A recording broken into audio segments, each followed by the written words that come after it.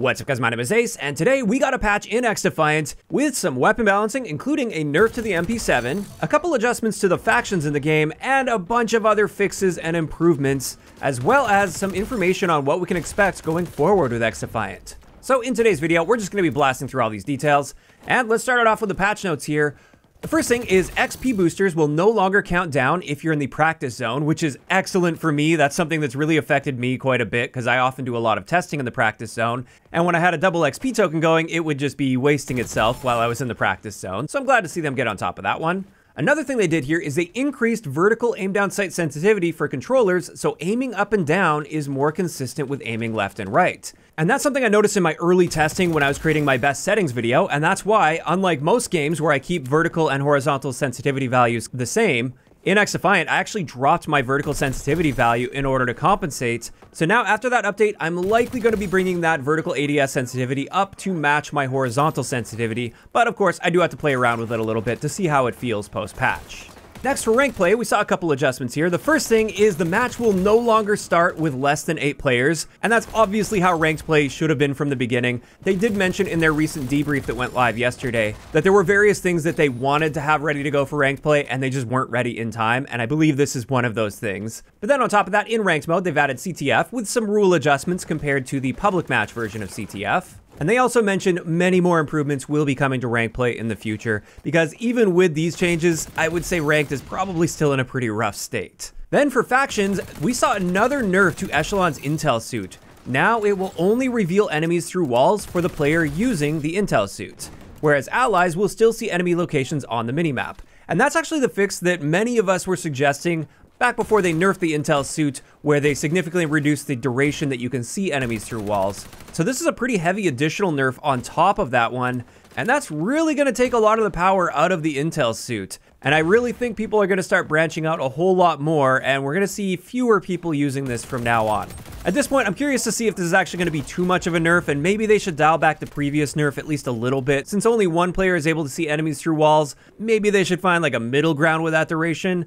Or maybe not, maybe they should keep this relatively weak so it opens up room for more abilities to have some time in the spotlight. In either case, another adjustment they made here was with these spider bots. A big issue with these that I noticed is they would stun you before they actually attach to your face. So they'd be standing at your feet still, and yet the stun effect would apply, and that was really jarring. This has apparently been fixed with this update, so you shouldn't actually be stunned until that spider bot has attached to your face. Now, let's get into the weapon adjustments, and the first thing here is they fixed the rapid fire barrel and muzzle booster attachments. Some of you guys might have seen my video on this. For some guns, they were causing less recoil rather than more recoil. And it turns out the guns that I tested with, the ACR 6.8 and the AK-47, these are the ones that were bugged and that this was affecting, whereas most of the other guns, it wasn't affecting them at all. But now that should be consistent, and therefore using rapid fire and muzzle booster is definitely more of a trade-off on those guns. Then let's get into the MP7 nerfs, and the first thing they did here is the default magazine capacity went from 35 rounds down to 30 rounds, and then on top of that, they reduced our rate of fire from 875 rounds per minute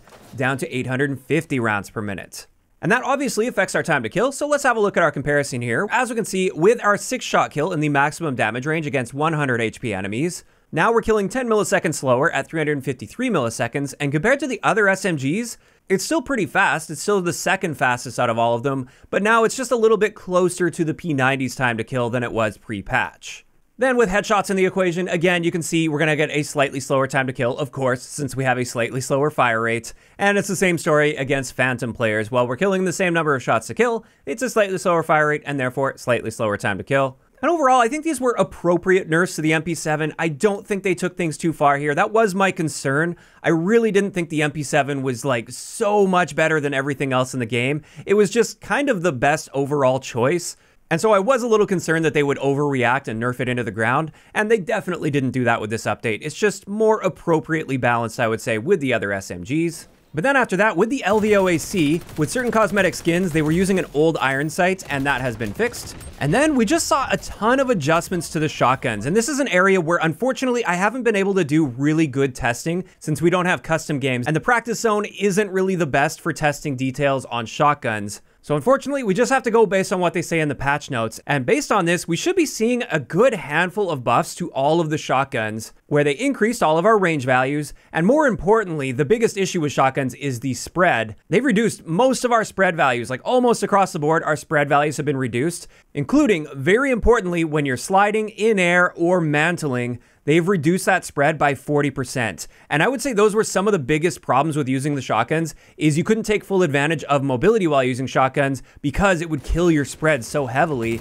Now it should be noticeably better in those areas while still receiving a penalty. It's just that penalty isn't going to be as brutal as it was pre-patch. So I am really curious to see how the shotguns are faring post-patch with all of these adjustments. Based on what I'm seeing here, we should see a lot more consistency with the shotguns, and I'm just hoping they didn't take this too far. I definitely don't want the shotguns to be too powerful in XDefiant, simply due to the fact that the general time to kill is quite a bit slower than many other games like Call of Duty, for instance, and that makes balancing one-shot kill weapons very difficult.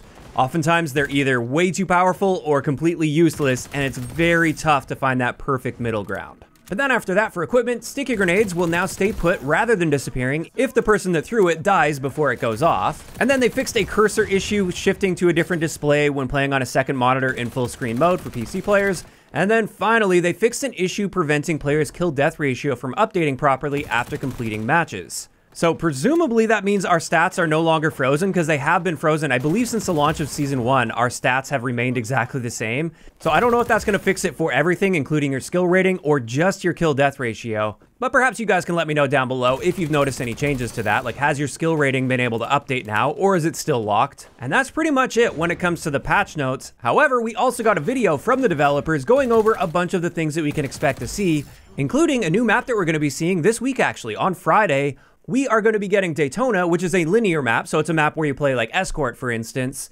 And it looks pretty cool. I really like the aesthetic of this one. They showed off several clips on it, and I'm definitely looking forward to hopping in and playing this.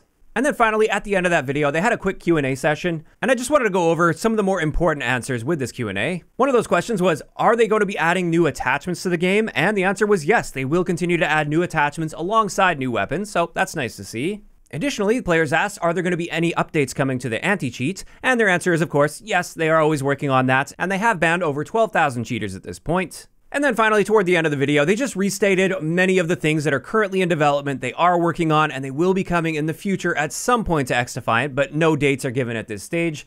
And these are Prestige Mode, Weapon Mastery System upgrades, keyboard and mouse support on console, private matches, and kill cams. Importantly, one thing that was really missing here, and we still don't have any updates on, is when the bomb mode is going to be coming to the game. This is something that they have confirmed to be coming in the coming weeks, so we're expecting it at some point in the near future. And by the way, the bomb mode is essentially like search and destroy from Call of Duty, so it's a one lifestyle mode. But yeah, at this stage, unfortunately, they didn't give us any updates as to when we can expect to see that. But with that, that is going to wrap it up today's video, just covering the patch that took place today, as well as some of the things we can expect going forward in the near future with XDefiant. And this is where I'm curious to hear from you guys in those comments down below.